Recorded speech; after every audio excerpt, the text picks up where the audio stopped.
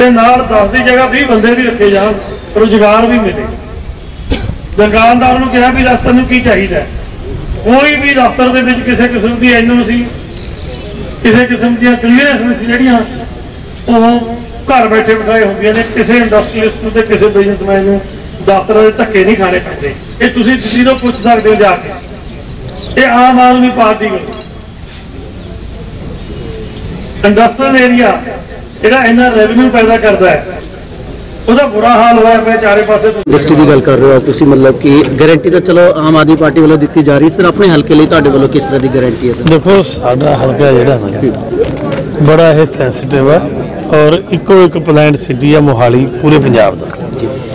ਔਰ ਇੱਥੇ ਇੰਡਸਟਰੀ ਦੀ ਬਹੁਤ ਸਖਤ ਲੋੜ ਹੈ ਔਰ ਇੰਡਸਟਰੀ ਤੇ ਦਾ ਜਿਹੜਾ ਮਾਹੌਲ ਹੈ ਇੱਥੇ ਪੂਰਾ ਸਾਜ਼ਗਾਰ ਆ ਕਿਉਂਕਿ ਕੋਈ ਵੀ ਜਿਹੜੀ ਇੰਡਸਟਰੀ ਲੱਗਦੀ ਹੈ, ਜਦੋਂ ਇੰਡਸਟਰੀਲਿਸਟ ਇੰਡਸਟਰੀ ਲਾਉਂਦਾ ਹੈ, ਉਹ ਇਹ ਦੇਖਦਾ ਵੀ ਸ਼ਹਿਰ ਕਿੱਦਾਂ ਦਾ ਉਹਦੀ ਕਨੈਕਟੀਵਿਟੀ ਕਿੱਦਾਂ ਦੀ ਆ, ਕੀ ਉਹਦੀ ਇੰਟਰਨੈਸ਼ਨਲ ਕਨੈਕਟੀਵਿਟੀ ਹੈ ਮੋਹਾਲੀ ਦੀ ਹੈ। ਸੜਕਾਂ ਦੀ ਕਨੈਕਟੀਵਿਟੀ ਹੈ, ਮੋਹਾਲੀ 'ਚ ਹੈ। ਸ਼ਹਿਰ ਪਲਾਨਡ ਹੈ ਬੇਸਿਕ ਇਨਫਰਾਸਟ੍ਰਕਚਰ ਪਿਆ ਹੋਇਆ ਸੜਕਾਂ sewerage water supply street light ਹਰ ਇੱਕ ਚੀਜ਼ ਹੈ, ਉਹ ਮੋਹਾਲੀ 'ਚ ਹੈ।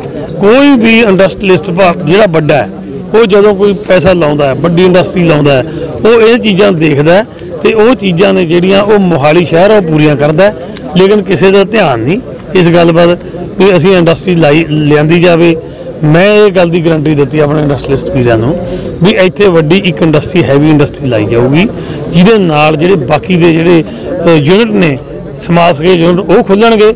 ਉਹਦੇ ਨਾਲ ਜਿੱਥੇ ਵੱਡੀ ਇੰਡਸਟਰੀ ਲੱਗਣ ਦੇ ਨਾਲ ਸਾਡੇ ਬੱਚਿਆਂ ਨੂੰ ਰੁਜ਼ਗਾਰ ਮਿਲੂਗਾ ਉੱਥੇ ਛੋਟੀ ਇੰਡਸਟਰੀ ਸਮਾਲ ਸਕੇਲ ਇੰਡਸਟਰੀ ਖੁੱਲਣ ਦੇ ਨਾਲ ਸਾਡੇ ਬੱਚਿਆਂ ਨੂੰ ਵੀ ਰੁਜ਼ਗਾਰ ਮਿਲੂਗਾ ਤੇ ਸਾਡੇ ਇੰਡਸਟਰੀਅਲਿਸਟ ਭਰਾ ਨੇ ਜਿਹੜੇ ਉਹ ਵੀ ਖੁਸ਼ਹਾਲ ਹੋਣਗੇ ਤੇ ਜਿਹੜਾ ਸਰਕਾਰ ਦਾ ਖਜ਼ਾਨਾ ਹੈ ਉਹ ਵੀ ਭਰੂਗਾ। ਬਿਲਕੁਲ ਸਰ 10 ਦਿਨ ਦਾ ਸਮਾਂ ਰਹਿ ਗਿਆ ਕਿਉਂਕਿ ਹੁਣ ਤਾਂ ਬਹੁਤ ਮਤਲਬ ਨਜ਼ਦੀਕ ਆ ਗਿਆ ਤਾਂ ਆਪਣੇ ਆਪ ਨੂੰ ਮਤਲਬ ਕਿਸ ਤਰ੍ਹਾਂ ਦੇਖਦੇ ਹੋ ਕਿ ਹੁਣ ਮਤਲਬ ਕਿੱਥੇ ਤੱਕ ਮਤਲਬ ਪਹੁੰਚ ਚੁੱਕੇ ਹੋ? ਦੇਖੋ ਅਸੀਂ ਆਪਣਾ ਪੂਰਾ ਜ਼ੋਰ ਲਾਇਆ ਹੈ। ਲੋਕਾਂ ਦੇ ਜੋਸ਼ ਵੀ ਪੂਰਾ ਹੈ। ਆਮ ਆਦਮੀ ਪਾਰਟੀ ਨੂੰ ਲੈ ਕੇ ਬਦਲਾਅ ਦਾ ਮਾਹੌਲ ਵੀ ਬਣਿਆ ਹੋਇਆ ਤੇ ਮੈਨੂੰ ਇਹ ਲੱਗਦਾ ਵੀ ਆਮ ਆਦਮੀ ਪਾਰਟੀ ਵੱਡੇ ਫ਼ਰਕ ਨਾਲ ਸੀਟਾਂ ਜਿੱਤ ਕੇ ਪੰਜਾਬ 'ਚ ਸਰਕਾਰ ਬਣਾਊ 10 ਮਾਰਚ ਇੱਕ ਸਰ ਜਿਹੜੇ ਆਪਣੇ ਸਮਰਥਕ ਨੇ ਆਮ ਆਦਮੀ ਪਾਰਟੀ ਤੁਹਾਡੇ ਆਪਣੇ ਸਮਰਥਕ ਨੇ ਉਹਨਾਂ ਤੇ ਕੁਝ ਤਾਂ ਮਤਲਬ ਕਿ ਗੁਡਾਣਾ ਚ ਉਹਨਾਂ ਤੇ ਚਪੇੜ ਮਾਰੀ ਗਈ ਹੈਡ ਗ੍ਰੰਥੀ ਤੇ। ਤੁਹਾਡੇ ਪੋਸਟਰ ਲਗਾਤਾਰ ਫਾੜੇ ਗਏ ਪਰ ਤੁਹਾਡੇ ਵੱਲੋਂ ਕੋਈ ਮਤਲਬ ਕਿ ਇਸ ਤਰ੍ਹਾਂ ਦਾ ਕੋਈ ਜਵਾਬ ਹਜੇ ਤੱਕ ਦਿੱਤਾ ਨਹੀਂ ਗਿਆ। ਨਹੀਂ ਦੇਖੋ ਅਸੀਂ ਇਹ ਸਮਝਦੇ ਹਾਂ ਵੀ ਬੁਖਲਾਹਟ ਹੈ। ਠੀਕ ਨਹੀਂ? ਇਹ ਹਾਰੇ ਹੋਏ ਬੰਦੇ ਜਿਹੜੇ ਹੁੰਦੇ ਨੇ ਉਹਨਾਂ ਦੇ ਕੋਲ ਇਹੀ ਹੱਥ ਕੰਡੇ ਹੁੰਦੇ ਨੇ। ਸਾਡਾ ਕੀ ਆ ਅਸੀਂ ਤਾਂ ਕਦੇ ਝਗੜਾ ਕਰਨਾ ਸਿੱਖਿਆ ਨਹੀਂ ਅਸੀਂ ਤਾਂ ਡਿਵੈਲਪਮੈਂਟ ਕਰਨੀ ਸਿੱਖੀ ਆ। ਸਰ ਸਰਕਾਰੀ ਮੁਲਾਜ਼ਮ ਵੀ ਅੱਜ 70 ਸੈਕਟਰ ਚ ਵੀ ਪੋਸਟਰ ਵਗੈਰਾ ਉਤਾਰ ਕੇ ਜ਼ਬਰਦਸਤੀ ਜਿੱਥੇ ਪਰਮਿਸ਼ਨ ਅਸੀਂ ਇਹ ਸਰਕਾਰੀ ਮੁਲਾਜ਼ਮ ਨਹੀਂ ਹੈਗੇ ਇਹ ਮਿਊਨਿਸਪਲ ਕਾਰਪੋਰੇਸ਼ਨ ਦੇ ਨੇ। ਇਹ ਜਿਹੜਾ ਮੇਅਰ ਬਣਾ ਕੇ ਇਹਨਾਂ ਨੇ ਬਿਠਾ ਲਿਆ ਨਾ ਜੀ ਉਹਨਾਂ ਦਾ ਕੰਮ ਹੀ ਹੈ ਬਲਵੀਰ ਸਿੰਘ ਸਿੱਧੂ ਦੇ ਭਰਾ ਦਾ ਝਗੜੇ ਪਾਉਣੇ ਪੰਗੇ ਪਾਉਣੇ ਪਿੰਡਾਂ ਦੇ ਸਾਰੇ ਝਗੜੇ ਪਾਏ ਹੋਏ ਨੇ ਪਰਚੇ ਦਰਜ ਕਰਾਏ ਹੋਏ ਨੇ। ਇੱਥੇ ਵੀ ਉਦਾਂ ਦੇ ਮਾਹੌਲ ਬਣਾਉਣਾ ਚਾਹੁੰਦੇ ਨੇ ਲੇਕਿਨ ਸਾਨੂੰ ਕੋਈ ਫ਼ਰਕ ਨਹੀਂ ਪੈਂਦਾ ਚਾਰ ਪੋਸਟਰ ਉਧਰ ਜਾਂਦੇ ਅਸੀਂ ਫੇਰ ਲਾ ਦਿੰਦੇ ਆ ਅਸੀਂ ਆਪ ਨਹੀਂ ਲਾਉਂਦੇ ਲੋਕਾਂ ਦੀ ਖੁਦ ਦੀ ਡਿਮਾਂਡ ਆ ਵੀ ਸਾਨੂੰ ਪੋਸਟਰ ਦਿਓ। ਇਹਨਾਂ ਦੇ ਕੋਈ ਲਵਾ ਨਹੀਂ ਰਿਹਾ ਸਾਡੇ ਕੋਈ ਲਾ ਨਹੀਂ ਰਿਹਾ ਹੈਗਾ ਤਾਂ ਇਹਨਾਂ ਨੂੰ ਇਹ ਹਾਰੇ ਹੋਏ ਨੇ। ਹਾਰੇ ਹੋਏ ਬੰਦਿਆਂ ਨੂੰ ਕੀ ਛੇੜਨਾ? ਤੇ ਜਿਹਨੇ ਰੱਬ ਨਹੀਂ ਜਿਹਦੇ ਤੇ ਰੱਬ ਨਹੀਂ ਮਾਰ ਪਾ ਦੇਣੀ ਹੈ ਛੋਟੇ ਪਰਚਿਆਂ ਦੀ ਗੱਲ ਕਰ ਰਹੇ ਹੋ ਸਰ ਤੁਹਾਡੀ ਆਪਣੀ ਸਰਕਾਰ ਆਂਦੀ ਹੈ ਤਾਂ ਉਹਦਾ ਇਨਸਾਫ ਮਤਲਬ ਲੋਕਾਂ ਨੂੰ ਮਿਲੇਗਾ ਜਿਹੜੇ ਦੇਖੋ ਇਨਸਾਫ ਮਿਲਣਾ ਚਾਹੀਦਾ ਜਿਹਨੇ ਕੋਈ ਨਜਾਇਜ਼ ਕੰਮ ਕੀਤਾ ਹੈ ਉਹ ਨਜਾਇਜ਼ ਕੰਮ ਦਾ ਇਨਸਾਫ ਆ ਜਿਹੜਾ ਉਹ ਤਾਂ ਉਹਨਾਂ ਨੂੰ ਮਿਲਣਾ ਚਾਹੀਦਾ ਤੇ ਇਨਸਾਫ ਦੇਵਾਂਗੇ ਵੀ ਉਹਨਾਂ ਨੂੰ। ਜਿਨ੍ਹਾਂ ਨੇ ਨਜਾਇਜ਼ ਪਰਚੇ ਕੀਤੇ ਨੇ ਉਹਨਾਂ ਤੋਂ ਹਿਸਾਬ ਤਾਂ ਉੱਤੇ ਲਿਆ ਜਾਊਗਾ। ਇੱਕ ਜੋਗਾ ਕੋਈ ਛੱਡਿਆ ਨਹੀਂ। ਪੀਪੇ ਦੇ ਵਿੱਚ ਆਟਾ ਹੈ ਨਹੀਂ ਗਰੀਬਾਂ ਦੇ। ਡਿਨਰ ਸੈੱਟ ਬਣ ਰਿਹਾ ਹੈ। ਉਹ ਡਿਨਰ ਸੈੱਟ ਕੀ ਕਰਨਾ? ਉਹਨਾਂ ਨੂੰ ਤਾਂ ਰੋਟੀ ਚਾਹੀਦੀ ਆਟਾ ਚਾਹੀਦਾ। ਮੇਰਾ ਵਾਸ਼ਿੰਗ ਵਾਸ਼ਿੰਗ ਮਸ਼ੀਨ ਉਹ ਬਣ ਰਿਹਾ ਉਹਨਾਂ ਸਾਨੂੰ ਤਾਂ ਪਤਾ ਨਹੀਂ ਹੈਗਾ ਨਾ ਹੀ ਸਾਡੇ ਦਿਮਾਗ 'ਚ ਤੇ ਨਾ ਹੀ ਸਾਡੇ ਵੋਟਰ ਇਦਾਂ ਦੇ ਹਨ। ਸਾਡੇ ਵੋਟਰ ਬਿਲਕੁਲ ਭਿਖਾਰੀ ਨਹੀਂ ਹਨ। ਉਹ ਬੰਦੇ ਜਿਹੜੇ ਨੇ ਸਾਡੇ ਜਿਹੜੇ ਵੋਟਰ ਨੇ ਉਹ ਮਾਨ ਇੱਜ਼ਤ ਵਾਲੇ ਨੇ। ਉਹ ਬਿਲਕੁਲ ਵੀ ਇਹੋ ਜਿਹਾ ਕੰਮ ਨਹੀਂ ਕਰਦੇ ਹੈਗੇ ਨਾ ਹੀ ਅਸੀਂ ਇਹੋ ਜਿਹਾ ਕੰਮ ਕਰਦੇ ਹਾਂ। ਉਹ ਝੂਠਾ ਬੰਦਾ ਹੈ। ਸੋ ਟੋਟਲੀ ਝੂਠ ਦੇ ਸਾਰੇ ਉਹਨੇ 15 ਸਾਲ ਲੋਕਾਂ ਦਾ ਮੂਰਖ ਬਣਾਇਆ ਤੇ ਹੁਣ ਲੋਕ ਸਮਝ ਗਏ ਨੇ ਉਹਨਾਂ ਨੂੰ ਹੁਣ ਲੋਕ ਮੂੰਹ ਨਹੀਂ ਲਾਉਣਗੇ।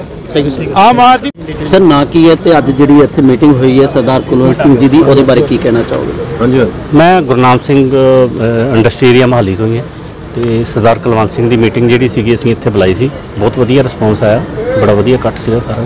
ਵਧੀਆ ਜੇ ਜੋ ਸਾਡੀਆਂ ਮੰਗਾਂ ਸੀਗੀਆਂ ਉਹ ਆਪਣੀਆਂ ਅਸੀਂ ਮੰਗਾਂ ਉਹਨਾਂ ਨੂੰ ਦੱਸੀਆਂ। ਔਰ ਉਹਨਾਂ ਤੇ ਉਹ ਉਹਨਾਂ ਨੇ ਮੌਕੇ ਤੇ ਹੀ ਕੁਝ ਆਏ।